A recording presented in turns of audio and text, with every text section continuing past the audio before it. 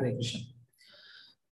ओम विष्णुपादाय कृष्ण प्रेष्ठाय मुतले श्रीमते भक्ति विकास स्वामी नामे नम। ओम विष्णुपादाय कृष्ण प्रेष्ठाय मुतले श्रीमते भक्ति वेदांत स्वामी नामे नमस्ते। सारस्वती देवे गौरवाणी प्रचारण्य निर्विशेष शून्यवादी पाश्चात्य शतारिणी। जय श्री कृष्ण चैतन्य प्रभु नित्यानंद, श्री अद्वैत गदाधर श्रीवासादि गौर भक्त वृंद हरे कृष्ण हरे कृष्ण कृष्ण कृष्ण, हरे हरे हरे राम हरे राम राम राम, हरे हरे।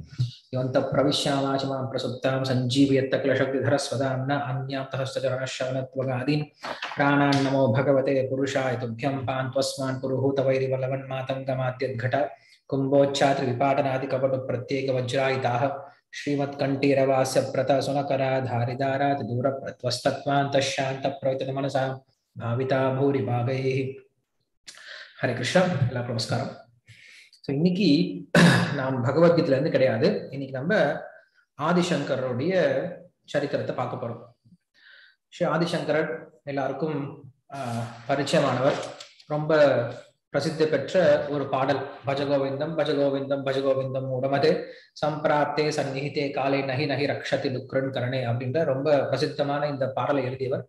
ஸோ அவருடைய தோன்றியலான் இன்னைக்கு இன்னைக்கு அவரை பற்றிய விஷயங்களை கொஞ்சம் பார்க்க முயற்சி பண்ணலாம். நம்முடைய மதத்திற்கு பெயர் சனாதன தர்மம் அப்படின்னு சொல்லி சொல்லப்படுது. ஒவ்வொரு மதத்திற்கும் ஒரு பெயர் இருக்கு. ஹிந்து தர்மம் ஹிந்து மதம் இல்ல கிறைஸ்துவ மதம் இல்ல முஸ்லீம் மதம் அப்படின்ற மதங்கள்லாம் இருக்கு. நம்முடைய மதத்துக்கு பேர் சனாதன தர்மம். அந்த சனாதன தர்மம் அப்படிங்கிறது தான் இப்ப நம்ம ஹிந்து மதம் அப்படின்னு சொல்லி சொல்லக்கூடிய தர்மம். இந்த சனாதன மதத்திற்கு ஏன் சனாதன மதம் அப்படின்னு பேர் வந்தது அப்படின்னா இதற்கு தோற்றம் அப்படிங்கிறது கிடையாது முடிவு அப்படிங்கிறது கிடையாது. சனாதன மதம் அப்படிங்கிறது இந்த நாள் இந்த வருடம் தான் தோன்றினது அப்படின்ட்டு இந்த மதத்திற்கு ஒரு நேரத்தை ஒதுக்கிட முடியாது. அதே போல சனாதன மதம் அப்படிங்கிறது எதை அடிப்படையா கொண்டிருக்கு? இப்ப வந்து மற்ற மதங்கள்லாம் ஒரு புஸ்தகத்தை அடிப்படையா கொண்டிருக்கு. பைபிள் குரான் இந்த போல ஒரு புஸ்தகங்கள் அடிப்படையா கொண்டிருக்கும் அப்படி பார்க்கும்போது சனாதன மதம் அப்படிங்கிறது எந்த சாஸ்திரத்தை அடிப்படையா கொண்டிருக்குன்னு யோசிச்சு பார்த்தோம் அப்படின்னா ஒரு சாஸ்திரம் ரெண்டு சாஸ்திரம் கிடையாது. அநேகமான சாஸ்திரங்கள் இருக்கு. அந்த சாஸ்திரங்கள் எல்லாம் எப்ப தோன்றினது அப்படிங்கிற விஷயம் உங்களுக்கு தெரியாம இருக்கு. இப்ப மற்ற மதத்தெல்லாம் பார்க்கும் பொழுது அவர்களுடைய புனித நூல் அப்படின்னு சொல்லக்கூடியது இந்த காலத்துல தோன்றினது அப்படின்னு சொல்லி சொல்றாங்க. ஸோ அப்படி சொல்லும் போது அந்த மதம் அப்பதான் தோன்றி இருக்குன்னு நமக்கு தெரிய ஆரம்பிக்குது. ஆனா நம்முடைய மதத்தை பார்க்கும் பொழுது நம்முடைய சாஸ்திரங்கள் எப்ப தோன்றினது அப்படிங்கிற விஷயத்தை யாராலும் கண்டுபிடிக்கவே முடியல. மேக்ஸ் முல்லர் போன்ற ஒரு சில விஞ்ஞானிகள் என்ன பண்றாங்க அப்படின்னா தத்துவ ஆராய்ச்சிகள் என்ன பண்றாங்க அப்படின்னா நம்முடைய மதத்து நம்முடைய வேதத்திற்கு நாட்களை குறிக்க முயற்சி பண்றாங்க. ஆனா மறுபடியும் பாலகங்காதர திலக் அப்படின்றவர் நம்ம இந்தியா இந்திய நாட்டை சேர்ந்த அவர் பெரிய பண்டிதர் என்ன பண்றாரு அப்படின்னா அவரும் ஆராய்ச்சி பண்றார். அவர் பண்ண ஆராய்ச்சியில இந்த சாஸ்திரத்திற்கான வயது அப்படிங்கிறது கூடவே முடியாது அப்படின்னு சொல்லிட்டு அவர் மறுபடியும் நிரூபிச்சு காட்டுற நிரூபிச்சு காட்டுறார். ஸோ அப்படி இருக்கும்போது நம்முடைய சனாதன தர்மம் அப்படிங்கிறது என்னைக்கும் சாஸ்வதமா இருந்துட்டு இருக்கு. இந்த உலகம் உண்டான காலத்துல இருந்து இருந்துட்டு இருக்கு. இன்னும் இந்த உலகம் இருக்கிற வரைக்கும் இந்த சாஸ்வதமான இந்த சனாதன தர்மம் இருக்கும் புரிஞ்சுக்கணும். இந்த சனாதன தர்மத்துக்கு ஒரு பெயர் இல்லாம இருந்தது. சனாதன தர்மம் அப்படின்னு இருந்ததை தவிர ஒரு பெயர் தனியா வைக்கல. இப்ப மத்த மதத்துக்கு எல்லாம் ஒரு பெயர் இருக்கு. அப்படி பார்க்கும்போது நம்முடைய மதத்துக்கு ஒரு பெயரே இல்லாம இருந்தது. ஏன் பெயர் இல்லாம இருந்தது? அப்படின்னு சொல்லி கேட்கும்போது இப்ப உதாரணம் சொல்லணும் அப்படின்னா ஒரு சின்ன கிராமம் இருக்கு. அந்த கிராமத்துல வந்து மூன்று நான்கு கிருஷ்ணர்கள் இருக்காங்க. பெயர் கிருஷ்ணன்ற பெயர் உடையவர். சோ ஒருத்தன் பேர் வந்து கே கிருஷ்ணன் ஒருத்தன் பேர் எம் கிருஷ்ணன் ஒருத்தன் பேர் எல் கிருஷ்ணன் சொல்ல வேண்டியதா இருக்கும். ஏன்னா எந்த கிருஷ்ணன் தெரியாதனால நிறைய கிருஷ்ணர்கள் இருக்கிறதுனால அவங்களுக்கு தனித்தனியா பேர் வைக்கணும். இல்ல ஒரு சிலருக்கு ஒரே இனிஷியல் இருந்துச்சு என்ன பண்ணும் அப்படின்னா இவன் வந்து மேல் வீட்டு கிருஷ்ணன் இவன் வந்து மூல வீட்டு கிருஷ்ணன் இவன் வந்து கீழ் வீட்டு கிருஷ்ணன் இவன் வந்து எழுத்த வீட்டு கிருஷ்ணன் அப்படின்னு சொல்லிட்டு பேர் வைக்க வேண்டியதா இருக்கும். நிறைய கிருஷ்ணர்கள் இருந்துச்சு அப்படின்னா. சோ அப்படி பார்க்கும்போது இந்த உலகத்துல ஒரே ஒரு தர்மம் தான் இருந்துட்டு இருந்தது. ரெண்டு மூணு தர்மங்கள் கிடையாது. ரெண்டு மூணு மதங்கள் கிடையாது. சோ ஒரே மதமா இருந்ததுனால அதை வித்தியாசப்படுத்தி காட்டும் அப்படிங்கிறதுக்கு பெயரே இல்லாம இருந்துட்டு இருந்தது. எப்ப மற்ற மதங்கள்லாம் தோன்ற ஆரம்பிச்சதோ அப்ப என்ன ஆகுது அப்படின்னா நம்ம மதத்திற்கும் ஒரு பெயர் கொடுக்கணும் அப்படின்றதுனால என்ன பண்றாங்க அப்படின்னா சிந்து அப்படின்ற மதத்தை அப்படின்ற பெயரை கொடுத்தாங்க. ஏன்னா நம்ம நம்ம நாட்டை சேர்ந்தவங்க என்ன பண்ண அப்படின்னா சிந்து நதியை தாண்டி தான் போயிட்டு நிறைய வியாபாரம் எல்லாம் பண்ணிட்டு வந்தாங்க. அப்படி வியாபாரம் பண்ணும் போது அந்த நம்ம சிந்து நதிக்கு அப்பாற்பட்டு இருக்கவங்க நம்மளை எப்படி கூப்பிட்டாங்க அப்படின்னா சிந்துக்கள் சிந்துக்கள் அப்படின்னு சொல்லி கூப்பிட ஆரம்பிச்சாங்க. அந்த சிந்து அப்படின்ற வார்த்தை என்ன ஆகுது அப்படின்னா இன்னும் போகக்கூடிய நாட்கள்ல அது மருகி ஹிந்து அப்படின்னு மாறிடுச்சு. ஏன்னா சம்ஸ்கிருத்துல ச அப்படிங்கிறது ஹா மாறலாம். அதே போல ய அப்படிங்கிறது ஜாவா மாறலாம். அதே போல வ அப்படிங்கிறது பாபா மாறலாம். ஸோ இப்படி இந்த சம்ஸ்கிருதத்துல மட்டும் இந்த ரெண்டு எழுத்துக்களும் மாற்றம் அடைவதற்கு அளவு அலவன்ஸ் இருக்கிறதுனால நம்மள ச அப்படிங்கிறது அந்த சிந்து அப்படிங்கிறக்கூடிய ச வந்து என்ன ஆயிடும்? மருவி ஹி ஹா அப்படின்ற ஹிந்து அப்படின்னு மாறிடுச்சு. ஸோ இப்படி நம்முடைய மதமானது ரொம்ப சாஸ்வதமானது. இப்ப மத்த மதத்தை சொல்லுவோம் அப்படின்னா கிறைஸ்தவ மதம் அப்படின்னா கிருஷ்ண இவர் ஜீசஸ் வந்து தொடங்கினார் என்று சொல்லணும் இப்ப முகமதியர்கள் மதம் அப்படின்னா அது வந்து முகமது அவர் தொடங்கினார் என்று சொல்லலாம் சோ அப்படி இருக்கும்போது நம்முடைய சனாதன தர்மமாகிய இந்த மதத்தை யார் நிறுவனது அப்படின்னு யோசிச்சு பார்த்தோம் அப்படின்னா ரிஷிகள் அப்படின்னு சொல்லலாம் ரிஷிகள் என்ன பண்றாங்க நம்மளுக்கு? இந்த சாஸ்திரம் அப்படின்ற விஷயத்த கொடுக்குறாங்க. அந்த ரிஷிகள் அநேகமான ரிஷிகள் இருக்காங்க. ரிஷிகள் அநேகமான ரிஷிகளா இருந்தாலும் அவங்க என்ன என்ன பண்றாங்க? எல்லாரும் ஒத்து ஒற்றுமையாக ஒரு ரிஷிய கை காட்டுறாங்க. இவர் ஒருத்தர் தான் நம்முடைய சனாதன தர்மத்தினுடைய ஸ்தாபகர் அப்படின்னு ஒருத்தர் கை காட்டுறாங்க. யார் கை காட்டுறாங்க அப்படின்னா வியாசதேவர் கை காட்டுறாங்க. வியாசதேவர் என்ன பண்றார்? நமக்கு எல்லா வேதங்களையும் தொகுத்து கொடுத்திருக்கார். அதனால வியாசர் என்ன பண்றா அப்படின்னா நம்முடைய மதத்திற்கு இப்ப மற்ற மதத்திற்கு எல்லாம் நம்ம சொல்லணும் அப்படின்னா தைரியமா சொல்லிடுவாங்க. கிறிஸ்டியன் மதம் அப்படின்னா ஜீசஸ் சொல்லி சொல்றாங்க. அதே போல முஸ்லீம் அப்படின்னா முகமது அப்படின்னு ரொம்ப தைரியமா சொல்லிடுவாங்க. அவங்க தான் ஃபவுண்டர் அப்படின்னு சொல்லி சொல்லிடுவாங்க. அது போல நம்மளுடைய சனாதன தர்மத்துக்கு யார் ஃபவுண்டர் அப்படின்னு யோசிச்சோம் அப்படின்னு சொன்னோம் அப்படின்னா உடனே நம்ம தைரியமா சொல்லலாம். வியாசர் தான் சொல்லி சொல்லணும் வியாசர் தான் நம்முடைய சனாதன தர்மத்துக்கு ஸ்தாபகரா இருக்கார். அவர் தான் அடித்தளமா இருக்கார். சோ இப்படிப்பட்ட இந்த வியாசர் கொடுத்த அந்த சனாதன தர்மத்தை பார்த்தோம் அப்படின்னா அது வந்து ஒரு ஆலமரத்தை போன்றிருக்கு. பனைமரம் போல கிடையாது. பனை மரம் எப்படி இருக்கும் அப்படின்னா நேரா வளர்ந்துருக்கும். அந்த பனை மரத்துக்கு கீழே நிறைய பேர் நிக்க முடியாது. ஆனா ஆலமரத்துக்கு கீழே பார்த்தோம் அப்படின்னா ஆயிரக்கணக்கான மக்கள் நிக்கலாம். அது போல மத்த மதம்லாம் ஏதோ சின்ன குறிப்பிட்ட விஷயங்கள் மட்டும் சொல்லி கொடுக்கும். ஆனா சனாதன தர்மம் அப்படிங்கிறது எல்லா விதமான மனிதர்களையும் உள்ளெடுத்து அவர்களையும் என்ன பண்ணும்? தூய்மைப்படுத்தி அவர்களையும் மோட்சம் கொண்டு போற அளவுக்கு என்ன பண்ணுது? சனாதன தர்மம் எல்லாருக்கும் வழிவகை கொடுக்குது. சோ இப்படி சனாதன தர்மம் அப்படிங்கிற இந்த மதமானது பறந்து விரிந்திருக்கு? அந்த சனாதன தர்மத்தினால உண்டுபடுத்தப்பட்ட இந்த சாஸ்திரங்கள் இருக்கு இல்லையா? அது என்ன ஆகுது? போக போக காலங்கள் போக போக என்ன ஆகுது அப்படின்னா அது கொஞ்சம் கொஞ்சமா மாறி மாற ஆரம்பிச்சது இல்ல அழிய ஆரம்பிச்சது. சோ அப்படிப்பட்ட அந்த சனாதன தர்மமான இந்த இந்த வேத நூல்களை காப்பாற்றுவதற்காக தோன்றிய ஆச்சாரியார் தான் நம்ம என்ன சொல்றோம்? ஆதிசங்கரர் சொல்லி சொல்றோம். ஏன்னா பகவான் சொல்றார் எதா எதாஹி தர்மஸ்ய கிளானிர் பவதி பாரத அபியுத்தான அதர்மஸ்ய ததாத்மானம் சுஜாமியம் தர்ம சம்ஸ்தாபனார்த்தாய சம்பவாமி யுகே யுகேன்னு சொல்லி சொல்றோம் எப்பெல்லாம் தர்மம் சீர்குலைதோ அப்புறம் தோன்றுறேன்னு சொல்லி சொல்றோம் சோ இருக்கிற மிக முக்கியமான தர்மம் நம்ம சாஸ்திரத்தை காப்பாற்றுதல் அப்படின்றது. ஏன்னா சாஸ்திரம் இருந்தாதான் நமக்கு ஆன்மீகம்னாவே என்னன்னு தெரியும். நாம் பகவான் அடைவதற்கான வழியும் அதெல்லாம் இருக்கு. அப்ப சாஸ்திரத்தை காப்பாத்தி கொடுக்கறது ரொம்ப முக்கியமான விஷயம். அந்த சாஸ்திரத்தை காப்பாற்றுவதற்காக ஒரு அவதாரம் அப்படின்னு சொல்லி சொன்னோம் அப்படின்னா அது ஆதிசங்கருடைய அவதாரம் அப்படின்னு சொல்லி சொல்லலாம். சரி இந்த ஆதிசங்கரர் தோன்றுவதற்கு முன்னாடியும் இந்த ஆதிசங்கரர் தோன்றினதுக்கு அப்புறம் எப்படி இருந்தது அப்படின்னு நம்ம புரிஞ்சுக்கணும். சாஸ்திரத்தினுடைய நிலைமை எப்படி இருந்ததுன்னு சொல்லி புரிஞ்சுக்கணும். ஏன்னா ஆதிசங்கரர் தோன்றினார் அப்படின்னா அவர் அவதார புருஷன் சொல்லி சொல்றோம். அவர் வந்து சிவனுடைய அவதாரம் அப்படின்னு சொல்லி சொல்றோம். அவர் வந்து சாதாரண குரு கிடையாது இல்ல சாதாரண அம்மை போன்ற ஒரு நபர் கிடையாது. ஏன்னா அவர் அப்படிப்பட்ட ஒரு அவதார புருஷம் அப்படின்னா அவதாரம் அப்படி அப்படி இருக்கணும் அப்படின்னா அவர் தோன்றுவதற்கு முன்னாடி நிலைமை ரொம்ப மோசமா இருக்கணும். அவர் தோன்றியதுக்கு அப்புறம் அந்த நிலைமை அப்படி மாறி இருக்கணும். அப்படிப்பட்ட இடம் தான் என்ன சொல்றோம் அவதாரம் அப்படின்னு சொல்லி சொல்றோம். அப்படி இல்லாம இன்னைக்கு நம்ம பாக்குற அவதாரம் மாதிரி கிடையாது. ஒரு அவதாரம் வந்தாரு. அந்த அவதாரம் வந்து ஒரு நாலஞ்சு ஹாஸ்பிட்டல் கட்டினாரு ஒரு நாலஞ்சு ஸ்கூல் கட்டினாரு. இதுக்கு அவதாரம் வந்து இறங்கி வரணும் அப்படின்ற அவசியம் கிடையாது. டாடா பிர்லாவே நிறைய கட்டிட்டு இருக்காங்க இன்னைக்கு இருக்கக்கூடிய பல செல்வந்தர்கள் என்ன பண்றாங்க? நிறைய ஹாஸ்பிட்டல் அப்போலோ வந்து நிறைய ஹாஸ்பிட்டல் கட்டிட்டு இருக்காங்க. சோ ஹாஸ்பிட்டல் கட்டுறதுக்கும் ஸ்கூல் கட்டுறதுக்கும் அவதாரம் இறங்கி வரணும் அப்படின்ற அவசியம் கிடையாது. அவதாரம் வந்தாங்க அப்படின்னா அவர்கள் இந்த உலகத்துல யாருமே செய்ய முடியாத ஒரு காரியத்தை செய்வாங்க. அதே போல அந்த காரியமானது உலகம் முழுவதும் உபயோகப்படுத்தக்கூடியதாகவும் இந்த உலகத்துல ரொம்ப காலம் அந்த அந்த அந்த காரியம் நிலை நிலை பெற்றிருக்கிற மாதிரி இருக்கும். உதாரணம் சொன்னோம் அப்படின்னா நம்ம ஸ்ரீல பிரபாதர் உதாரணம் சொல்லலாம் அவர் என்ன பண்ணார் அப்படின்னா அவர் இங்க தோன்றி இந்த கிருஷ்ண பக்தி அப்படின்ற ஒரு விஷயத்தை உலகம் முழுக்க கொண்டு போய் சேர்த்தார். அவர் சேர்த்த விஷயமானது இன்னைக்கு உலகம் முழுக்க பரவிட்டு இருக்கு. இன்னும் பரவ போது இந்த உலகத்துல எத்தனை வருடங்கள் இன்னும் இந்த கிருஷ்ண பக்தி இருக்க போதும் தெரியாது. சோ என்ன பண்ணிருக்காரு? உலகத்துல யாருமே செய்ய முடியாத ஒரு சாதனை பண்ணிருக்காரு. சோ அவதாரம் இல்ல வந்து உத்தம புருஷர்கள் உண்மையான ஜெகத்குரு வரார் அப்படின்னா அவருடைய குணம் எப்படி இருக்கும்? ஜெகத்குரு வந்தாருன்னா அவர் என்ன பண்ணுவார் அப்படின்னா இந்த உலகத்துல யாருமே செய்ய முடியாத காரியத்தை செய்வார். எல்லாருக்கும் பாதை காட்டக்கூடிய காரியங்களா செய்வார். பகவான் அடைவதற்கான பாதையை காட்டக்கூடியவரா இருப்பார். சோ அப்படிப்பட்டவர் தான் நம்ம ஆதிசங்கரர் அப்படின்னு சொல்லி சொல்றோம். சோ அவர் என்ன பண்ணார்? ஆதிசங்கரர் வரக்கூடிய காலத்துல புத்த மதம் அப்படிங்கிறது புத்த மதம் ஜெயின மதம் இது ரெண்டும் என்ன எப்படி இருந்தது அப்படின்னா நம்ம இந்தியால நிறைய இருந்தது. ஏன்னா அன்னைக்கு என்ன ஆனது? நம்முடைய சனாதன தர்மத்தை பின்பற்றக்கூடிய என்ன பண்ணாங்க அப்படின்னா உபனிஷத் அப்படின்ற ஒரு விஷயத்தை பக்கத்துல வச்சுட்டாங்க. உபனிஷத்தை பாக்குறதே கிடையாது. உபனிஷத்தை பக்கத்துல வச்சுட்டு வெறும் யஜ்யம் பண்றது பூஜை பண்றது இந்த மாதிரி வெறும் காரியத்திலேயே பண்ணிட்டு இருந்துட்டாங்க. இப்படிப்பட்ட யஜ்யங்களை பண்ணும்போது நிறைய நிறைய நரபலி நிறைய வந்து மிருக வகைகளை பண்றது அப்படின்ற காரியத்தை செஞ்சுட்டே இருந்துட்டாங்க. சோ இதனால நிறைய பேர் வெறுப்படைந்து என்ன பண்றாங்க அப்படின்னா புத்த மதத்துக்கும் ஜெயின மதத்திற்கும் போக ஆரம்பிச்சிட்டாங்க. இதை தடுக்கணும். அதே போல யஜ்யம் செய்யறவங்க என்ன பண்ணாங்க அப்படின்னா யஜ்யம் செய்யறது மட்டும்தான் வாழ்க்கையோட குறிக்கோள் அப்படின்னு நினைச்சு யஜ்யத்தையே செஞ்சுட்டு இருந்தாங்க இன்னும் ஒரு சிலர் என்ன பண்ணாங்க அப்படின்னா ஞான மார்க்கம் அதாவது மீமாம்சா வைசேஷிக்க நியாய இப்படி போன்றவர்கள் என்ன பண்ணாங்க அப்படின்னா வெறும் ஞானத்தை வரட்டு தத்துவத்தை பேசிட்டே இருந்தாங்க.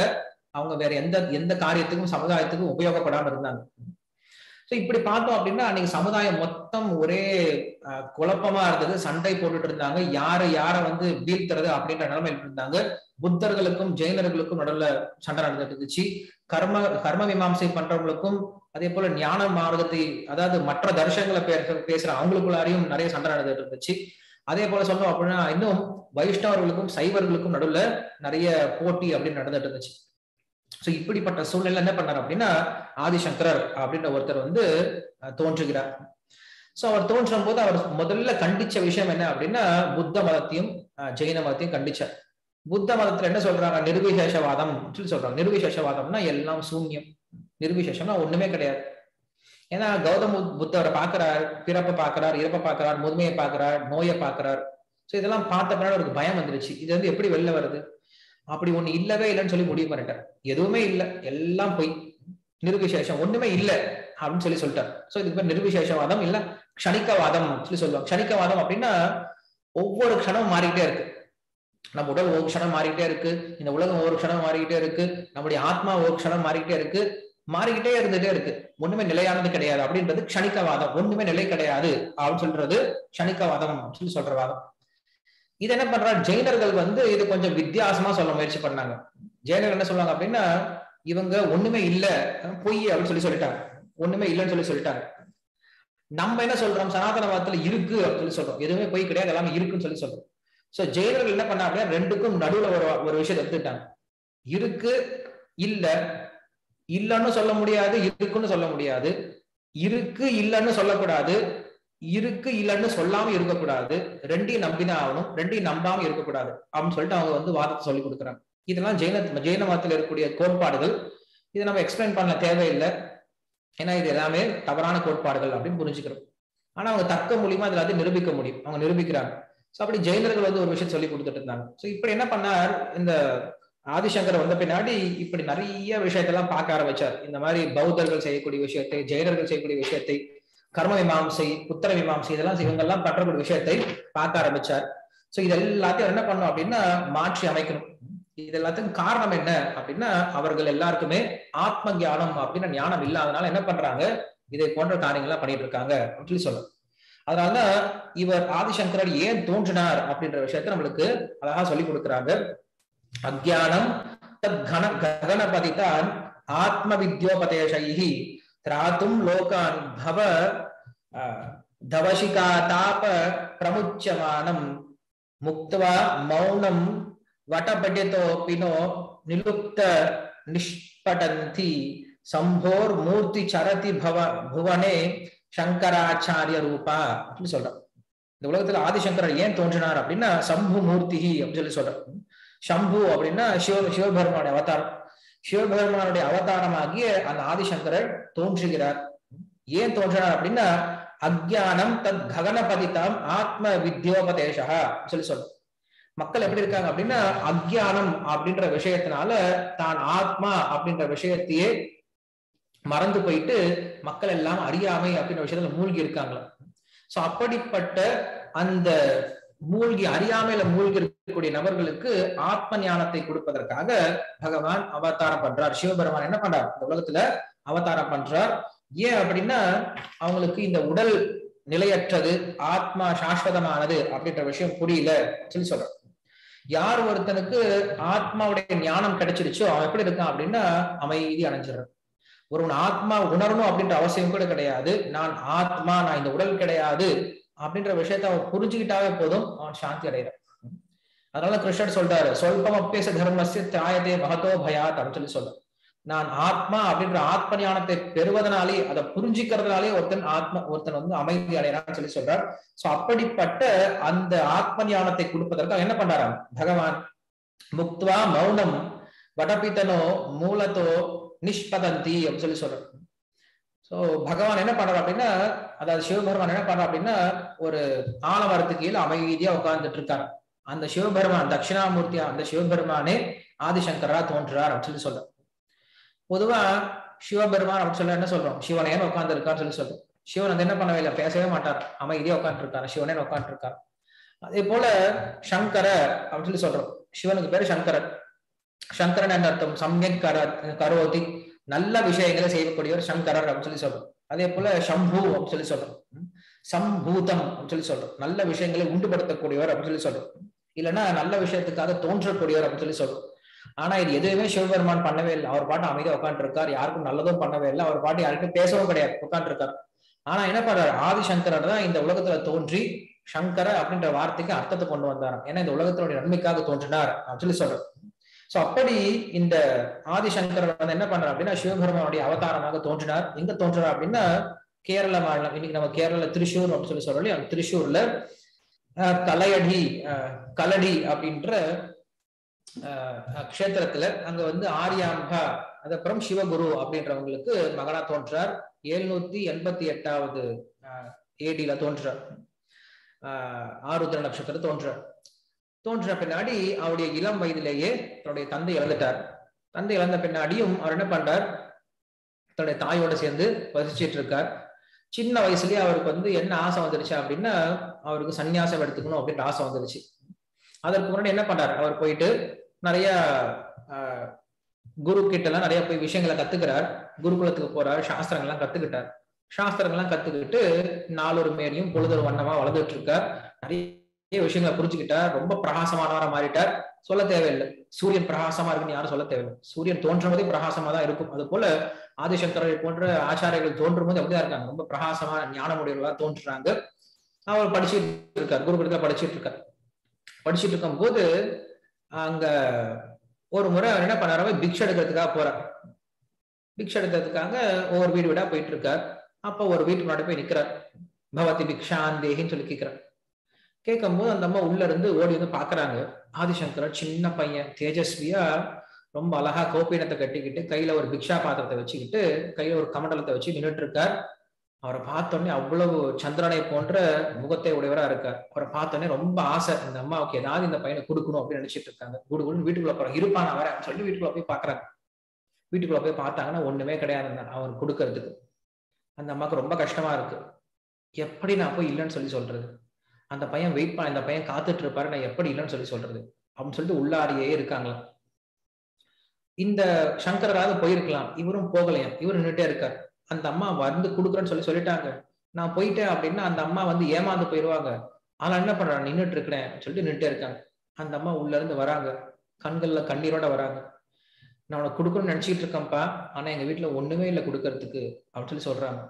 சொன்ன உடனே அப்ப ஆதிசங்கர் சொல்றார் இல்லம்மா எனக்கு வந்து நீங்க சாதம் கொடுக்கணும் அப்படின்னு அவசியம் கிடையாது.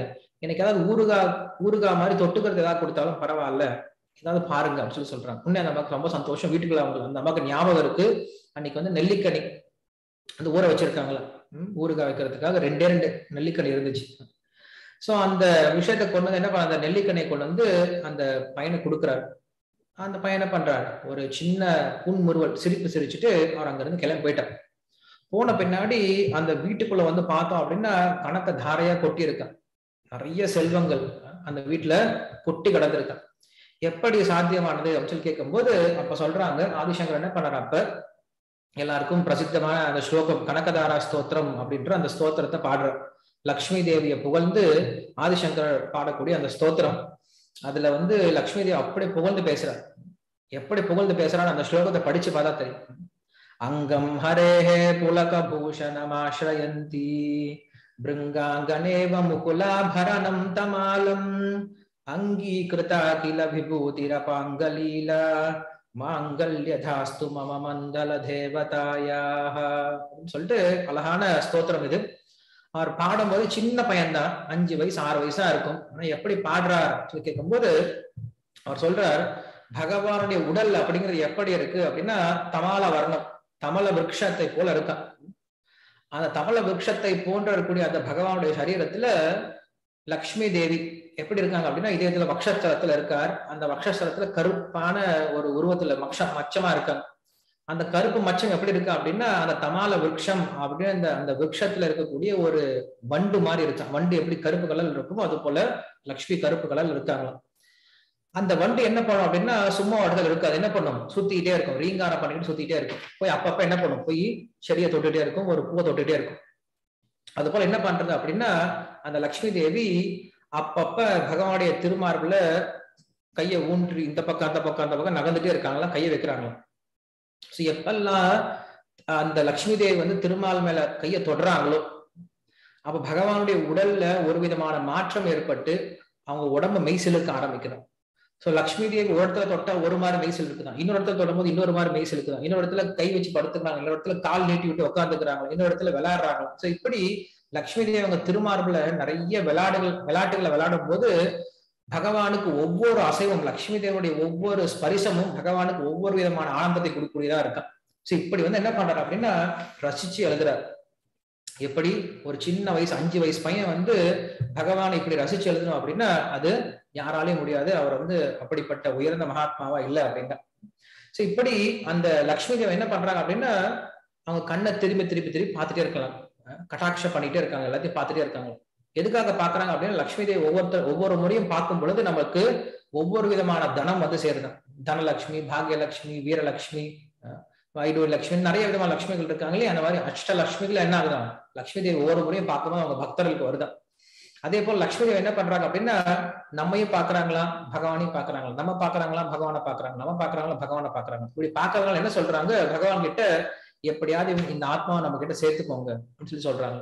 அதே போல் நம்மளை பார்க்கும்போது நம்ம கிட்ட சொல்றாங்களா நீ என்ன பண்ணு பகவானை சரணாகதி பண்ணு அப்படின்னு நம்ம கிட்ட சொல்றாங்க. ஸோ இப்படி ரெண்டு பேருக்கும் மத்தியில நின்று பகவானை சேர்த்து வைக்கக்கூடியவங்களா இருக்காங்க லக்ஷ்மி அப்படின்னு சொல்லிட்டு லக்ஷ்மி தேவை புகழ்ந்து இந்த கனகதாரா ஸ்தோத்திரம் அப்படின்னு இந்த ஸ்தோத்திரத்தை பாடுறார். அதற்கப்புறம் ஆஹ் இவருக்கு வந்து ஆசை வருது. நான் வந்து சன்னியாசம் எடுத்துக்கணும் அப்படின்ற ஆசை வருது. ஸோ ஆசை வரும்போது அவங்க அம்மா கிட்ட சொல்றாங்க அவங்க அம்மா ஒத்துக்கல. அவர் என்ன பண்றாரு ஒரு போய் குளிக்க போறார். தண்ணியில குளிச்சிட்டு இருக்கார். குளிச்சிட்டு இருக்கும்போது அங்க ஒரு முதல்ல வந்து அவருடைய காலை பிடிச்சிருது. காலை பிடிச்ச உடனே அவர் கத்துறார் அம்மா என்ன முதல்ல வந்து சாகடிக்க போது இப்பயாவது எனக்கு சன்னியாசம் கொடு. ஏன்னா சன்னியாசி நான் சன்னியாசே இறந்து போனேன் அப்படின்னா அட்லீஸ்ட் எனக்கு மறுபிறவியாவது கிடைக்காது. அப்படின்ட்டு எனக்கு வந்து இப்பயாவது ஆணை கொடு எனக்கு சன்னியாசம் கொடு சன்னியாசத்துக்கு எனக்கு வந்து பர்மிஷன் கொடு அப்படின்னு சொல்லி சொல்றாங்க. அந்த அம்மா யோசிக்கிறாங்க. சரி நான் சன்னியாசம் கொடுத்தேன் அப்படின்னா என் பையன் ஒருவேளை பொழைச்சி வந்துட்டான் அப்படின்னா ஏன்னா சன்னியாசி வந்து தாக்காது அப்படின்ற ஒரு ஐதீகம் இருக்கு. என் பையன் புழைச்சி வந்துட்டான் அப்படின்னா அட்லீஸ்ட் சன்னியாச வேஷத்துலயாவது உயிரோடு இருப்பான். இல்ல என் பையன் உயிரோ உயிரை விட்டுட்டான் அப்படின்னாலும் குறைஞ்சபட்சம் என்ன பண்றான்? சன்னியாசியாவது உயிர் போனது அப்படின்னு வச்சு நான் சந்தோஷப்படுவேன்னு சொல்லிட்டு என்ன பண்றாங்க அந்த அம்மா சன்னியாசம் ஒத்துக்கிட்டாங்க. ஆதிசங்கர் என்ன பண்றாரு? அதுக்கப்புறம் அந்த முதல வாயிலிருந்து வெளில வந்துட்டார். வெளில வந்த பண்ணி சன்னியாசம் எடுத்துக்கிட்டார். சன்னியாசம் எடுத்துட்டு அங்க இருந்து நடந்து போக ஆரம்பிச்சிட்டார். அவர் எங்கேயோ பிறந்தார் கேரளாவில் பிறந்தாரு. அவர் குருவை பார்க்கறதுக்கு நர்மதா நர்மதா நதி தீரத்துக்கு போறார். ஸோ அங்க வந்து ஓம்காரானந்தா அப்படின்ற அவங்களுடைய ஒரு ஆசிரமம் இருந்துட்டு இருக்கு அந்த இடத்துக்கு போய் சேர்றார். அந்த இடத்துல கோவிந்த பகவத் பாதர் அப்படின்றவரை போய் பார்க்க போறார். கௌடபாதர் அப்படின்றவர் தான் அவருடைய குரு. ஸோ கௌடபாதர் யாரு அப்படின்னா சுகதேவருடைய சிஷ்யன் அப்படின்னு சொல்லப்படுது.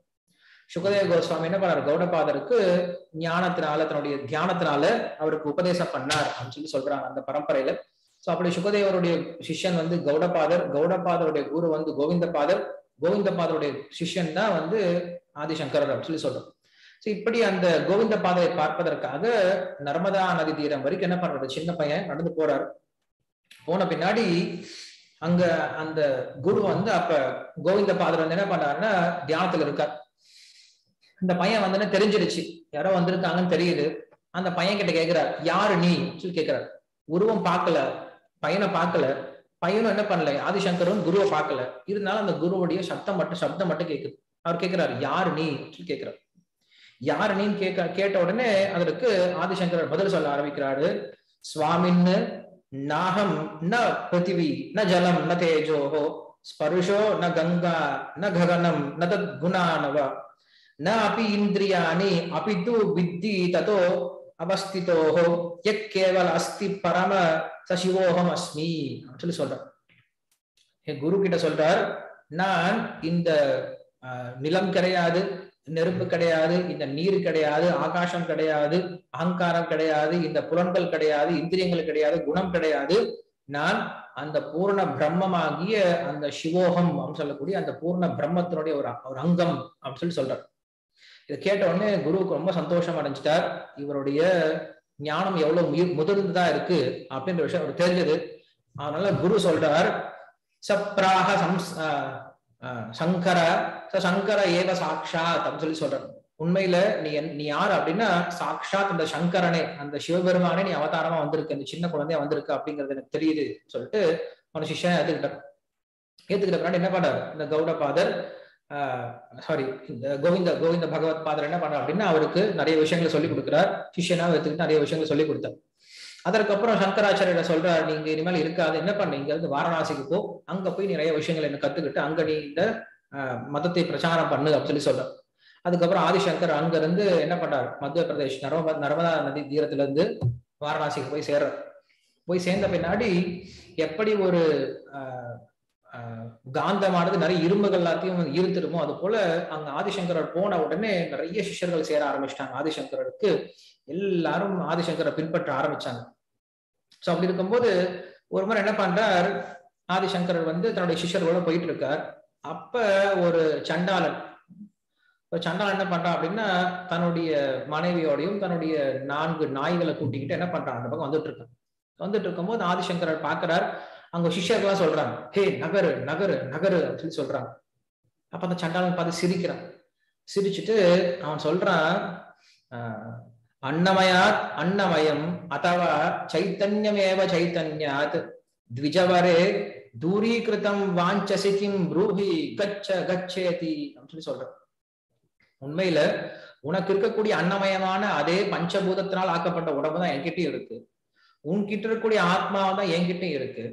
இதுல நீ யார நகர சொல்ற? நகர நகரம் சொல்ற யார நகர சொல்ற?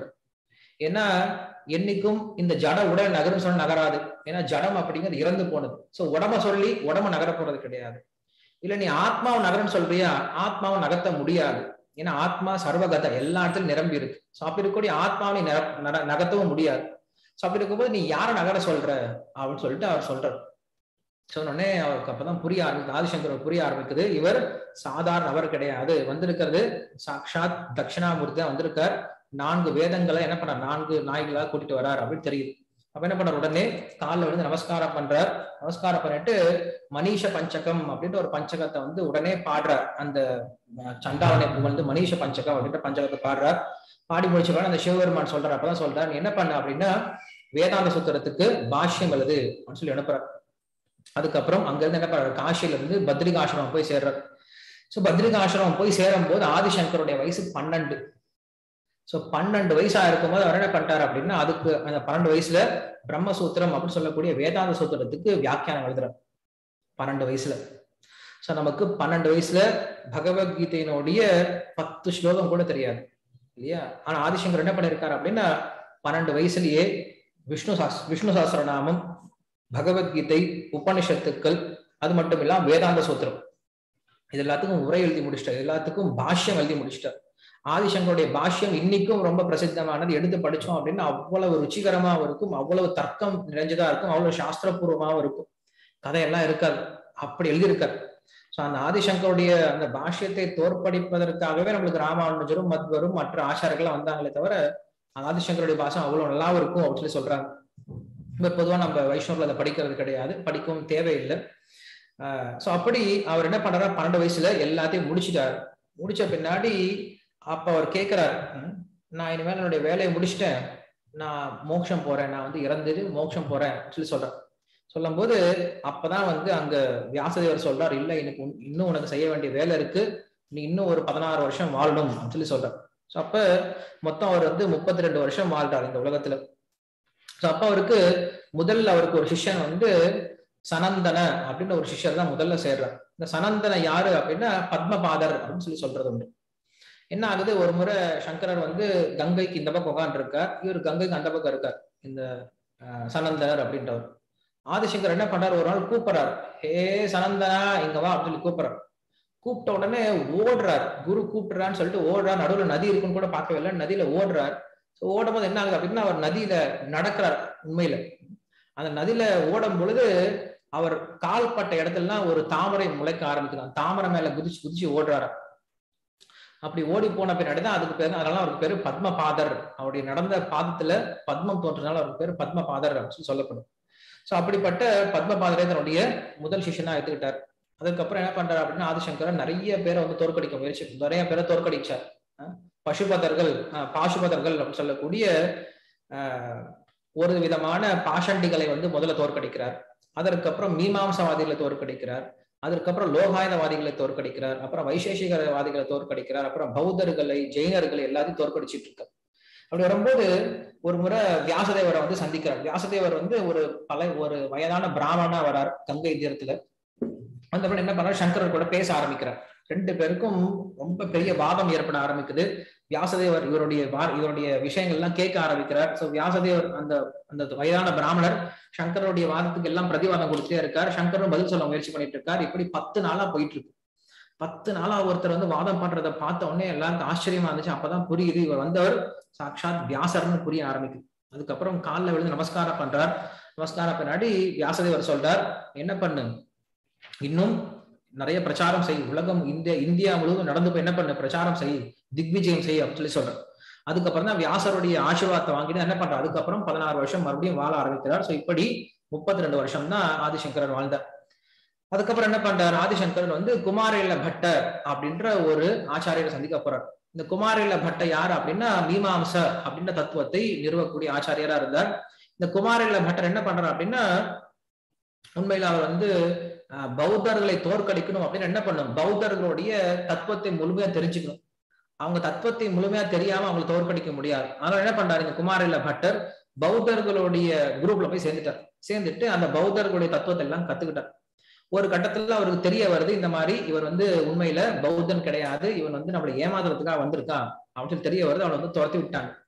துரத்தி விட்டே குமாரில பட்டருக்கு ரொம்ப கஷ்டமாயி போயிடுச்சு. தான் செஞ்சது அபராதம் தான் செஞ்சது ஏமாற்றம் தான் எப்படியும் ஒரு குருவை ஏமாத்திட்டோம் அப்படின்ற எண்ணத்துல என்ன பண்றாரு? அவர் வந்து தன்னை தன்னுடைய உடலை தானே எரி எரிஞ்சு இறப்பதற்கு ஒரு பிராயசத்தை எடுத்துக்கிட்டார். என்ன பண்ணுவாங்க அப்படின்னா அந்த உமி இருக்கு இல்லையா? நெல்லினுடைய உமி. அந்த உமியை கொட்டிட்டு அந்த உமியை நடுவில் உட்காந்துருப்பாங்க அந்த உமியை வந்து என்ன பண்ணுவாங்கன்னா கொளுத்தி விட்டுருவாங்க. அந்த உமி என்ன ஆகுன்னா மெதுவா எரியும். ஸோ அப்போ நம்மளுடைய உடம்பு என்ன ஆகும்? மெதுவா எரிய ஆரம்பிக்கும். ஸோ அது வந்து ஒரு பிராயசித்தமா அவர் எடுத்துக்கிட்டார். தன்னுடைய உடம்பு வந்து மெதுவா கொஞ்சம் கொஞ்சமா கொஞ்சம் கொஞ்சமா அணுவணுவா எரியது எரிய எரிஞ்சு எரிஞ்சு சாம்பலாறத அவரே கண் கூட பாக்குற மாதிரி ஒரு தண்டனை கொடுத்துக்கிட்டார். ஏன்னா நான் ஏமாத்திட்டேன் அப்படின்ற ஒரு தவறுக்காக. ஸோ அப்படி வந்து எரிஞ்சிட்டு இருக்கார். எரிஞ்சிட்டு இருக்கும் போது அந்த ஆதிசங்கர் வர்றார். அவரோட பாக்குறார். உண்மையில ஆதிசங்கர் எழுதிய அந்த வேதாந்த சூத்திரத்து பாஷ்யத்துக்கு வந்து ஒரு வார்த்திகை எழுத நினைக்கிறார். வார்த்திகை அப்படின்னா ஒரு விளக்க உரைன்னு சொல்லி சொல்லலாம். ஒரு கைடுன்னு சொல்லி சொல்லலாம். ஏன்னா குமாரில பட்டர் வந்து அவ்வளவு பெரிய ஞானியா இருந்தார். ஸோ அவர் அவர் மூலியமாக ஒரு ஒரு கைடு இருந்துச்சு அப்படின்னா மக்கள் ஈஸியா படிச்சு புரிஞ்சுக்க முடியும் அப்படின்னு சொல்லிட்டு என்ன பண்றாரு? அந்த குமாரில பட்டர் கிட்ட வந்து ஒரு வார்த்திகை எழுதுன்னு சொல்லி கேட்கிறார். என்னால இப்ப முடியாது. நான் இறக்கக்கூடிய சமயத்துல இருக்கேன். ஆனா என்ன பண்ணு? என்னுடைய சிஷ்யன் ஒருத்தன் இருக்கான். மண்டன மிஸ்ரல் அப்படின்னு ஒரு சிஷ்யன் இருக்கான். மண்டன மிஸ்ரா அப்படின்ட்டு. அவரை போய் நீ பாரு அப்படின்னு சொல்லி சொல்ற சோ என்ன பண்றாரு? மண்டன மிஸ்ரரை பார்ப்பதற்காக அங்கிருந்து பிரயாகுக்கு போறார். அவர் போகும்போது அவர் கிரகஸ்தர் மண்டன மிஸ்ரர் வந்து கிரகஸ்தர். அவங்க வீட்டுக்குள்ள போகும்போது அந்த மண்டல மிஷன் என்ன பண்றான் அப்படின்னா அவங்க வீட்டுக்குள்ளார வியாசதேவரையும் ஜெய்மனியும் என்ன பண்றாருன்னா பூஜை பண்ணிட்டு இருக்காரு. ஏன்னா அவருடைய அந்த ஞானத்தினால வியாசதேவரையும் ஜெய்மனியும் பார்க்க முடியுது. அவர் பூஜை பண்ணிட்டு இருக்காரு. ஸோ அப்படி இருக்கும்போது இந்த ஆதிசங்கர் அங்க போய் சேர்றார். சேர்ந்த பின்னாடி அந்த ஆதிசங்கர் கிட்ட ரெண்டு பேரும் வந்து முதல்ல தர்க்கம் வச்சுக்கிறாங்க. ரொம்ப வாதம் வச்சுக்கிறாங்க. யார் யாரை ஜெயிக்கிறது அப்படின்னு சொல்லிட்டு. ஸோ அதுல மண்டல மிஸ்ரரும் ஆதிசங்கர் ரெண்டு பேரும் உட்காந்துட்டாங்க ஒருத்தர் ஒருத்தர் பேச ஆரம்பிக்கிறாங்க. தர்க்கத்தை பேச ஏன்னா மண்டல மிஸ்ரர் வந்து கர்ம மீமாம்ச தத்துவத்தை பேசக்கூடியவர்.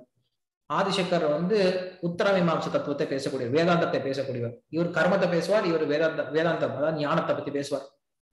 ஸோ இப்படி ரெண்டு பேரும் பேசிட்டு இருக்கும்போது அந்த அவங்களுடைய மனைவி மண்டல மிஸ்ரோடைய மனைவி உபய பாரதி அப்படின்றவங்க வந்து சாட்சாத் சரஸ்வதி அவதாரம்.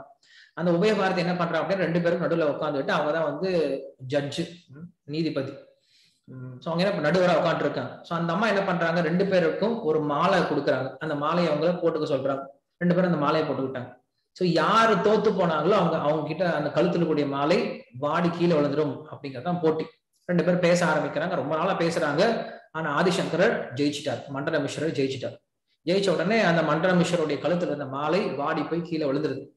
மண்டல வந்து ஆதிசங்கர் தன்னுடைய சிஷ்யனை எடுத்துக்கிட்டார். அதான் அன்னைக்கு தோத்து போயிட்டாங்கன்னா சிஷ்யனா மாறிடணும். அப்படி இருக்கும் இங்க உபய பாரதி என்ன பண்றாங்க அப்படின்னா இவங்க சொல்றாங்க இப்ப என்னுடைய கணவனை நீங்க இன்னும் வெற்றி கொள்ளல என்ன நீங்க வெற்றி கொண்டாதான் என்னுடைய கணவனை வெற்றி கொள்ள முடியும். அப்படின்னு சொல்லிட்டு என்ன பண்றாங்க? அவங்க இப்ப போட்டிக்கு வராங்க. சோ அந்த மண்டலம் இந்த உபய பாரதியும் ஆதிசங்கரும் இப்ப வந்து ரொம்ப பெரிய தர்க்கத்துல ஈடுபட ஆரம்பிக்கிறாங்க. அந்த தர்க்கமானது பதினேழு நாள் ஆனதான் பதினேழு நாள் ரெண்டு பேரும் தர்க்கம் பண்ணிட்டு இருக்காங்க. ரெண்டு பேரும் வந்து ஒரு கன்க்ளூஷன் வர முடியும் ஒரு முடிவுக்கு வர முடியும். ஸோ அப்படி இருக்கும்போது இந்த உபய என்ன பண்ணாங்க அப்படின்னா சங்கரரை எப்படியாவது நம்ம வந்து வீழ்த்திடணும் அப்படின்னு நினைச்சு என்ன பண்ணாங்க? திடீர்னு சாஸ்திரத்திலிருந்து வேற ஒரு விஷயத்துக்கு போக ஆரம்பிச்சிட்டாங்க. அவங்க என்ன பண்ணாங்க? எனக்கு வந்து காமசாஸ்திரத்தை பத்தி நீங்க விளக்கணும் அப்படின்னு சொல்லிட்டு பேச ஆரம்பிச்சிட்டாங்க. ஆதிசங்கரோட வந்து நைஷ்டிக பிரம்மச்சாரியான சன்னியாசம் இருக்கக்கூடியவர் அவருக்கு இந்த இந்த இதை பற்றி ஞானம்லாம் இருக்காது. ஸோ அப்படி இருக்கும்போது அவர் என்ன பண்ணார்? எனக்கு கொஞ்சம் அவகாசம் வேணும். அப்படின்னு சொல்லிட்டு என்ன பண்றாரு? வெளில போறாங்க ஆகாச மரமா போறாங்க. ஸோ அப்படி போகும்போது ஒரு இறந்த உடலை தேடி போறாங்க. அப்ப அமருகன் அப்படின்னு ஒரு ராஜா அவன் இறந்து போயிட்டான். ஸோ அவனுடைய உடம்புக்குள்ளார போயிட்டு ஆதிசங்கரர் உள்ள பூந்து அந்த அமருகன் ராஜாவின் மூலியமாக என்ன பண்றாரு? அவர் ஒரு குடும்ப வாழ்க்கையில் இருக்கக்கூடிய இன்ப துன்பங்கள் துன்ப இன்பம் எப்படி இருக்கும் அப்படின்ற விஷயத்தை தெரிஞ்சுக்கிட்டு உபயவாரத்துக்கு பதில் சொல்லலாம் அப்படின்னு சொல்லிட்டு என்ன பண்றாங்க? அவங்க உடம்புக்குள்ள போயிட்டார். அமருக்கன் அப்படின்னு உடம்புக்குள்ள போயிட்டார். போன பின்னாடி அந்த அமரத்தினுடைய உடம்புல இருந்து எல்லாத்தையும் கத்துக்கிட்டு மறுபடியும் வரார். சோ வரும்போது தான் என்ன ஆகுது அப்படின்னா அந்த இடத்துல ஒரு பிரச்சனை வருது. அந்த ராஜாவுக்கு நிறைய எதிரிகள் வந்ததுனால அந்த ராஜாவை கொல்வதற்கு தயாராயிட்டாங்க இப்ப. அந்த ராஜாவை வந்து கட்டி வச்சுட்டாங்க. அவன் வந்து சிதல் ஏத்திட்டாங்க. அவன் வந்து உயிரோட கொளுத்துவதற்கு சிதல் ஏத்திட்டாங்க. ஆதிசங்கரால அதை தடுக்க முடியல. அப்ப என்ன பண்றா? அந்த ஆதிசங்கர் அந்த அமருக்கனுடைய உடம்புல இருக்கக்கூடிய ஆதிசங்கர் என்ன பண்றா அப்படின்னா నరసింహనుడిచి స్తోత్రం పంటారు శ్రీమత్పయోనిధి నికేతన చక్రపాణే భోగీంద్ర భోగమ నిరాజిత పుణ్యమూర్తే యోగే సశాశ్వత శరణ్య భవాబ్ది బోధ లక్ష్మీ నరసింహ కరావలం లక్ష్మీ నరసింహ మదేహి కరావలంబం బ్రహ్మేంద్ర రుద్రమ రుదర్క కిరీట కోటి సంకట్టితాంగ్ర కమలామల కాంతికాంత లక్ష్మీ లసత్కుచ సరోరుహ రాజహంస லக்ஷ்மி நரசிம்ம மதேஹி கராவலம்பம் அப்படின்னு சொல்லிட்டு இது கராவலம்ப ஸ்தோத்திரம் அப்படின்னு ஒரு நல்ல அழகான ஸ்தோத்திரம் இருக்கு நரசிம்மரை பற்றி. நரசிம்மரை பா நரசிம்மரை வந்து புகழ்ந்து பாட ஆரம்பிக்கிறார். நரசிம்மர் வந்து என்ன பண்றாரு? அவங்கள எல்லாரையும் சாகடிச்சுட்டு ஆஹ் இங்க வந்து ஆதிசங்கரை காப்பாற்றினார் அப்படின்னு சொல்லி சொல்லப்படும். சோ இப்படி ஆதிசங்கர் வந்து அதுக்கப்புறம் அந்த உபயபாரதிக்கு பதில் சொல்லிட்டு அங்கேயும் வெற்றி பெற்றார். அவங்க ரெண்டு பேரையும் சிஷர்களை எடுத்துட்டு போயிட்டார். அந்த உபயபாரதி அப்படின்றவர் தான் சுரேஸ்வராச்சாரியர் அப்படின்ற ஆச்சாரியரா மாறுறார். அதற்கப்புறம் என்ன பண்றார் ஆதிசங்கர் பயணம் பண்ணிட்டு இருக்கார். அப்ப அவனுடைய அம்மா ஆரியாம்பாள் இருக்காங்க இல்லையா? அவங்க வந்து இறக்க போற சமயம். அவங்க நினைக்கிறாங்க இப்ப ஆதிசங்கர் நினைக்கிறாங்க. ஆதிசங்கர் என் பக்கத்துல இருந்தா பரவாயில்லையா இருக்குமே அப்படின்னு நினைக்கிறாங்க. எங்கேயோ இமயமலையில இருந்தவர் என்ன பண்றாரு? யோக சக்தினால இங்க வந்து சேரணும். கேரளாவுக்கு வந்து சேர்ந்துட்டார். அம்மாவுடைய மடியில உட்கார வச்சுக்கிட்டார். மடியில படுக்க வச்சுக்கிட்டார். படுக்க வச்சுட்டு இப்ப என்ன பண்றாரு? கிருஷ்ணர் நினைச்சு புகழ்ந்து ஸ்தோத்திரம் பண்றாரு. கிருஷ்ணாஷ்டகம் சொல்லி சொல்றோம் வசுதேவ சுதம் தேவம். கம்சஜானூரமர்த்தனம் தேவகீ பரமானந்தம் கிருஷ்ணம் வந்தே ஜகத்குரும் ஸ்ரீவத்சாங்கம் மனோரக்ஷம் வனமாலவர்ஜிதம் சங்கச்சக்கரதரம் தேவம் கிருஷ்ணம் வந்தே ஜகத்குரும் அப்படின்னு சொல்லிட்டு ரொம்ப அழகான ஸ்தோத்திரங்கள் இருக்கிறார் கிருஷ்ணரை புகழ்ந்து பேசுறார் அந்த கிருஷ்ணரே வந்து என்ன பண்றாங்க? அந்த ஆரியாம்பாளுக்கு தரிசனம் கொடுத்து அவங்களையும் மோட்சத்தை கூட்டிட்டு போனாங்க சொல்லப்படும் அதுக்கப்புறம் பத்மபாதர் அப்படின்ற அவருடைய கதை பார்த்தோம். அப்புறம் தோட்டக்காச்சாரியர் அப்படின்னு ஒரு ஆச்சாரியர் இருந்தார். அந்த தோட்டக்காச்சாரியர் வந்து அவருக்கு ஞானம் எல்லாம் கிடையாது. அவர் வந்து சின்ன சின்ன சேவையெல்லாம் பண்ணிட்டு கூடியவரா இருந்தார். அப்படி அவரை சேவை பண்ணிட்டு இருக்கும்போது அவர் வரல அப்படின்னா சங்கராச்சாரியர் வந்து பாடமே எடுக்க ஆரம்பிக்க மாட்டார் வந்து காத்துட்டு இருப்பார் அவர் வர வரைக்கும் காத்துட்டு இருப்பார் ஒரு முறை என்னாச்சு தோட்டக்காச்சாரியர் வந்து ரொம்ப நேரமா அந்த ஆதிசங்கருடைய துணிகை துவச்சிட்டே இருக்கார். வர்ற மாதிரி தெரியல. ரொம்ப நேரம் ஆகும் போல இருக்கு. அப்ப என்ன பண்ற? ஆதிசங்கர் அங்க நிறைய பேர் உட்காந்துருக்காங்க சன்னியாசிகள் உட்காந்துருக்காங்க உட்காந்து இருந்தாலும் என்ன பண்றாரு? அவங்கள எல்லாத்தையும் பார்க்காம இந்த தோட்டக்காச்சாரியரை பாக்குறாரு ரொம்ப கருணையோட பாக்குறாரு கருணையோட பார்த்த உடனே அந்த தோட்டக்காச்சாரியாருக்கு இது வரைக்கும் படிக்காத விஷயம். இந்த இவங்கெல்லாம் இந்த சன்னியாசிகள்லாம் பன்னெண்டு வருஷம் என்ன படிச்சு தெரிஞ்சுக்கிட்டாங்களோ அந்த எல்லா ஞானமும் அவருக்கு தானா வரைய ஆரம்பிச்சுதான் அதுக்கப்புறம் என்ன பண்றாரு? தோட்டக்காச்சாரியர் ஆனந்தத்துல கூத்தாடிக்கிட்டு பாடிக்கிட்டு என்ன பண்றாரு? சம்ஸ்கிருதத்துல ஸ்லோகத்தை சொல்லிக்கிட்டு பாடிக்கிட்டே வராரு ஸோ அங்க தோட்டக்கம் அப்படின்ற ஒரு மீட்டர் ஒரு சந்தஸ் தோட்டக்கம் அப்படின்ற ஒரு மீட்டர்ல அவர் வந்து பாடிக்கிட்டு அதனால அவருக்கு பேரு தோட்டக்காச்சாரியார் அப்படின்னு பேரே வந்தது. இப்படி நிறைய சிஷ்யர்கள் வந்து அவர் சேர்க்க ஆரம்பிச்சார். ஸோ அதுல ஒரு விஷயம் சொல்றார் அவர். உண்மையில இந்த வாழ்க்கை இருக்கு இல்லையா? இந்த சந்நியாச வாழ்க்கை அப்படிங்கிறது இதுதான் உயர்ந்த வாழ்க்கை அப்படின்ற விஷயத்த அவர் சொல்ல அவர் சொல்றாரு. வேதாந்த வாக்கியேஷு சதாரமந்த பிக்ஷா அன்ன மாத்திரேஷு சதுஷ்டதி மந்த விஷோகமந்த கரணே சரந்த கௌபீனவந்த கலு பாக்யவந்த அப்படின்னு சொல்லி சொல்றார். கௌபீனவந்த கலு பாக்யவந்த அப்படின்னு சொல்லி சொல்றார். யார் ஒருத்தர் இந்த சன்னியாச வாழ்க்கையில் இருக்காங்களோ அவங்க ரொம்ப பெரிய பாக்கியசாலிகள் அப்படின்னு சொல்லி சொல்றார். காரணம் என்னது? வேதாந்த வாக்கிய சதாரமந்த எப்பயும் வேதாந்தத்தை பேசிக்கிட்டு ரொம்ப சந்தோஷமா இருக்காங்க. அவங்களுக்கு வேற எந்த கவலையும் கிடையாது. பசிக்குதா? என்ன பண்றாங்க? பிக்ஷா அன்ன மாத்திரேஷ துஷ்டி துஷ்டி மந்தக பசிக்குச்சா என்ன பண்றாங்க? நாலு வீட்டுல போய் பிக்ஷை எடுக்கிறாங்க. அந்த என்ன பிக்ஷை கிடைக்குதோ அதை சாப்பிட்டுட்டு அதுலயே சந்தோஷமா இருக்காங்க மற்றபடி விஷோகமந்த கரணே சரந்தக அவங்களுக்கு எந்த சோகமும் கிடையாது. இதை பார்த்துக்கணும் அதை பார்த்துக்கணும் அப்படின்ற எந்த விதமான கவலையும் கிடையாது. என்ன பண்றாங்க? இன்னைக்குமே வேதாந்தத்திலையும் பகவானுடைய தியானத்திலையுமே சந்தோஷமா இருக்காங்க அப்படின்னு சொல்லி சொல்றாங்க. சோ அப்படிப்பட்ட அந்த துறவு அப்படிங்கிற விஷயத்தை காட்டக்கூடிய ஆச்சாரியரா இருந்தார் ஆதிசங்கரன் ஸோ அவர் சொன்ன விஷயம் என்ன அப்படின்னா ஒருத்தர் வந்து சன்னியாசத்தினால்தான் மோட்சம் அடைய முடியும் அப்படின்ற விஷயத்தை அன்னைக்கு வந்து அவர் ஸ்தாபனை பண்ணார். அதுக்கப்புறம் வந்து ஆச்சாரியர்கள் அந்த சன்னியாசம்னா என்ன அப்படிங்கிற விஷயத்தை அதுக்கப்புறம் விளக்க ஆரம்பிச்சாங்க. சன்னியாசம் அப்படின்னா வெறும் காவி உடை மட்டும் போட்டுக்கிறது கிடையாது. சன்னியாசம் அப்படின்னா நம்முடைய மனதாலையும் நம்முடைய புத்தியாலும் நம்முடைய புலன்களாலையும் நம்ம என்ன பண்ணோம் எல்லாமே பகவானுடைய சேவையை உபயோகப்படுத்தணும் அப்படின்னு அதான் உண்மையான சன்னியாசம் அப்படிங்கிற விஷயத்தை அதுக்கப்புறம் காட்ட ஆரம்பிச்சாங்க. இப்படி ஆதிசங்கரர் ஒன்று ரெண்டு கிடையாது. அநேகமான கிரந்தங்கள் எழுதினார். அநேகமான சாஸ்திரங்களுக்கு விளக்கவரை எழுதினார். நிறைய பேரை தோற்கடிச்சார். மறுபடியும் இந்த சனாதன தர்மம் அப்படின்னு தர்மத்தை நம்ம உலகத்துல நம்ம பாரத வருஷத்துல கொண்டு வந்து நிறுவனர். அவர் இல்லை அப்படின்னா மறுபடியும் வேதம் அப்படிங்கிற விஷயம் மறைஞ்சே போயிருக்கும். வேதத்தை யாரும் நம்ம இன்னைக்கு பார்த்தே இருக்க முடியாது. ஆதிசங்கரனுடைய ஒரு ஒரு ஒரு விகரசான ஒரு பிரீச்சிங்கால தான் என்ன இருக்கு அப்படின்னா இன்னைக்கு உலகம் முழுக்க இந்த சாஸ்திரம் அப்படிங்கிறது இன்னைக்கும் பரவி இருக்கு. அதே போல அந்த ஆதிசங்கரர் பிரச்சாரம் பண்ண அந்த பிரம்மவாதம் அப்படின்ற விஷயமானது எவ்வளவு ஸ்ட்ராங்கா இருக்கு அப்படின்னா எத்தனை ஆச்சாரியர்கள் வைஷ்ணவ ஆச்சாரியர்கள் வந்தாலும் இன்னைக்கு அந்த பிரம்மவாதம் உலகத்தில் நிலை பெற்றிருக்கு. அதை யாரும் வேரோட அறுக்க முடியல. அப்படி பிரச்சாரம் பண்ணிட்டு போயிட்டார். நம்மளுக்கு பத்மபுராணம் சொல்லி கொடுக்குது. என்ன அப்படின்னா அந்த ஆதிசங்கரர் வந்து உண்மையில சிவபெருமான் தான். எதுக்காக வந்தார் அப்படின்னா மக்கள் வந்து எப்படி இருக்காங்க அப்படின்னா பௌத்தவாதத்துல வந்து மூழ்கி இருக்காங்க பௌத்தவாதம் அப்படின்னா சூன்யவாதம் அப்படின்ற விஷயத்த மூழ்கி இருக்காங்க அந்த சூன்யவாதத்துல டைரக்டா அவங்க வந்து வைஷ்ணவம் அப்படின்னு சொல்லி கொண்டு வந்தோம்னா கொண்டு வர முடியாது. ஸோ அப்ப என்ன பண்ண அவங்கள படிப்படியா படிப்படியா முன்னேற்ற கொண்டு வரணும். அப்ப என்ன பண்ற ஆதிசங்கரர் வந்து அவர் என்ன பண்றாரு? சூன்யவாதத்தை கொஞ்சம் வித்தியாசமா பிரச்சாரம் பண்றாரு. அவங்களும் இல்லைன்னு சொல்லி சொல்றாங்க. இவரும் இல்லைன்னு சொல்லி சொல்றாரு. இவர் தற்காலிகமா இருக்கு அப்படின்ற விஷயத்த சொல்றாரு. அவங்க இல்லவே இல்லைன்னு சொல்லிட்டாங்க. இவங்க தற்காலிகமா இருக்கு அப்படின்ற விஷயத்தை அவர் சொல்றார். ஸோ இப்படி அதுக்கப்புறம் வந்த ராமானுஜ ஆச்சாரியர் இவர் வந்து அவர் வந்து சூன்யம் அப்படின்னு சொல்லி சொன்னார். இவர் அத்வைத்தம் அப்படின்னு சொல்லி சொன்னார். அதுக்கப்புறம் வந்த ராமானுஜர் விசிஷ்ட அத்வைத்தம் அப்படின்னு சொல்லி சொல்றார் அதுக்கப்புறம் வந்த மத்வாச்சாரியர் துவைத்தம் அப்படின்னு சொல்லி சொன்னார். அதுக்கப்புறம் அந்த சைத்தன்ய மகாபிரபு நம்மளுக்கு வந்து அச்சிந்திய பேத அபய தத்துவம் அப்படின்ற தத்துவத்தை கொடுக்குறாரு. இப்படி ஒவ்வொரு ஆச்சாரியர்களும் அப்படியே அந்தந்த நீளத்துக்கு தகுந்தாற் போல என்ன பண்றாங்க? கொஞ்சம் கொஞ்சமான விஷயங்களை கொடுக்க ஆரம்பிச்சாங்க. அவன் ஒண்ணுமே படிக்கவே இல்லை.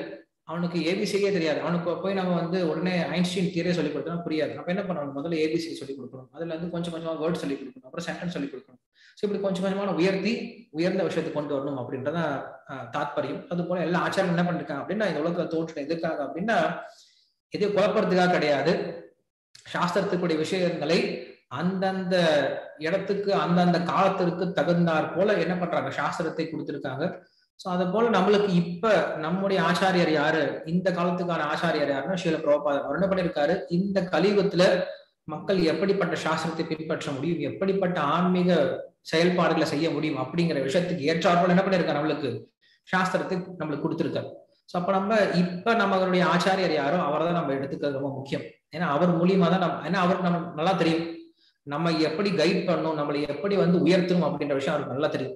நாம முயற்சி செஞ்சோம் அப்படின்னா கண்டிப்பா நம்ம எங்கேயும் போய் சேர போறது கிடையாது. அப்ப நம்முடைய ஆச்சாரியர் யாரோ அவரை நம்ம பின்பற்ற ஆரம்பிச்சோம் அப்படின்னா அதுவே நம்மளுக்கு ரொம்ப எளிமையான வழிமுறை அந்த பகவான் அடைவதற்கு. ஸோ அப்படி நம்ம ஆதிசங்கரை பார்க்குறோம். ரொம்ப பெரிய தத்துவஜானியா இருந்தார். பற்றில பற்றின்மையில வந்து சன்னியாசியா இருந்தார். அவ்வளவு விஷயங்களை தர்க்கத்தினால தோற்கடிக்கூடியவரா இருந்தார். இப்படிப்பட்டவர் என்ன பண்றாரு? கடைசியில அவர் சொன்ன விஷயம் என்ன அப்படின்னா ஒரு வயசான பிராமணர் உட்காந்து என்ன பண்றார் அப்படின்னா டுக்ரன் கரணே டுக்ரன் கரணே டுக்ரன் கரணே டுக்ரன் கரணேன்னு உட்காந்து மனப்பாடம் பண்ணிட்டு இருக்கார். உட்காந்து ஆக்கியா சாரி இது வேர்ட்ஸ் எல்லாம் வந்து மனப்பாடம் பண்ணிட்டு இருக்கார். ஆக்கியாத்தாவை மனப்பாடம் பண்ணிட்டு இருக்கார்.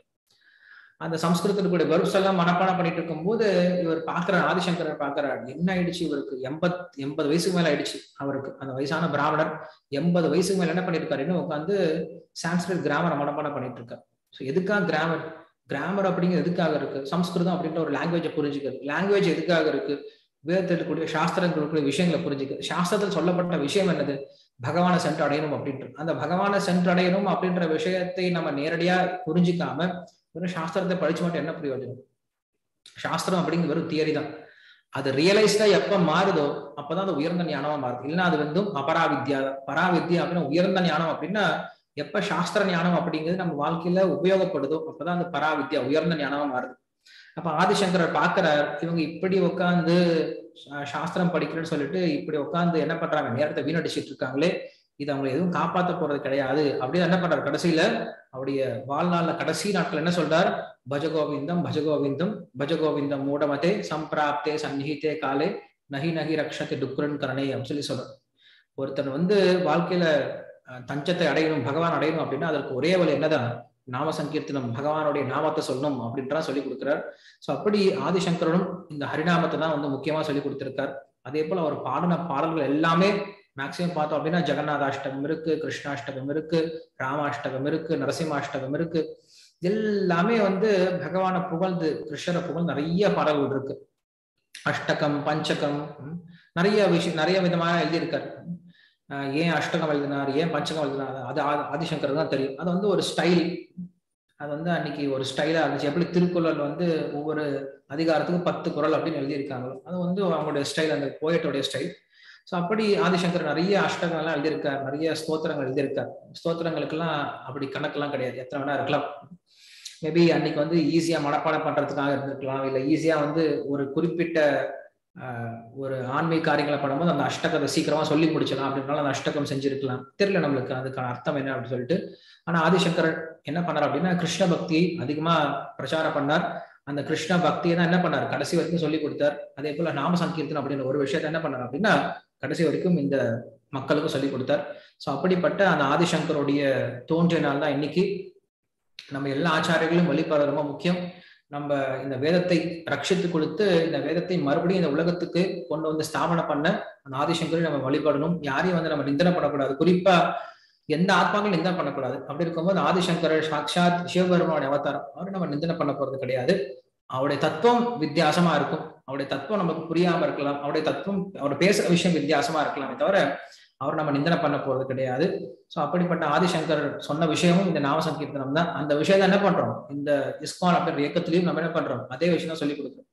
எல்லா ஆச்சாருக்கும் சொல்லிக் கொடுக்கக்கூடிய கடைசி விஷயம் இதுதான் நாம சங்கீர்த்தனம் அப்படின்ற விஷயம் தான் ஆனா அவங்க சொல்றாங்க நம்ம என்ன பண்றோம்? செயல்படுத்துறோம். இந்த கிருஷ்ண பக்தி அப்படின்னு இயக்கத்துல என்ன பண்றோம்? இந்த நாம சங்கீர்த்தனத்துக்கு அவ்வளவு முக்கியத்துவம் கொடுத்து எல்லாரும் என்ன பண்ணுங்க? நாம சங்கீர்த்தனம் பண்ணுங்க. எல்லாரும் ஜபம் பண்ணுங்க. எல்லாரும் பஜனை பண்ணுங்க. எல்லாரும் ரோட்ல வந்து கீர்த்தனை பண்ணுங்க. எல்லாரும் வீட்டுல கீர்த்தனை பண்ணுங்க. வீட்டுல சேன் பண்ணுங்க அப்படின்னு சொல்லிட்டு நாம சங்கீர்த்தனத்தை அதிகமா முக்கியத்துவம் கொடுத்து பிரச்சாரம் பண்றது அப்படிங்கிறது ஷீல புரோபாரால மட்டும்தான் முடிஞ்சது. அதனால நம்ம ஷீல புரோபாரை எப்ப பின்பற்ற ஆரம்பிக்கிறோமோ நம்ம ரொம்ப சேஃபான கையில இருக்கோம். கண்டிப்பா நம்ம வந்து பகவான் அடையிறது அப்படிங்கிறது உறுதியான ஒரு விஷயமா இருக்கு. அதனால அந்த ஆதிசங்கரை நம்ம எப்படி வழிபடலாம் அப்படின்னா நாம சங்கீர்த்தனம் அப்படின்ற அந்த விஷயத்த நம்ம தான் என்ன பண்ண முடியும்? அந்த ஆதிசங்கரை நம்ம வழிபட முடியும். ஸோ அவர்கிட்ட நம்ம என்ன பண்ணலாம்? பிரார்த்தனை பண்ணிக்கலாம். அந்த நாம சங்கீர்த்தனத்துல நமக்கு உறுதியான நிஷ்டையை கொடுக்கணும் அப்படின்னு சொல்லிட்டு அந்த ஆதிசங்கரை நம்ம என்ன பண்ணலாம்? பிரார்த்தனை பண்ணிக்கலாம். ஸோ இதை நீங்க முடிச்சுக்கிறேன். மறுபடியும் நம்ம எல்லாரும் திங்கக்கிழமை மறுபடியும் உபன்யாசத்தை பார்க்க ஆரம்பிக்கலாம்.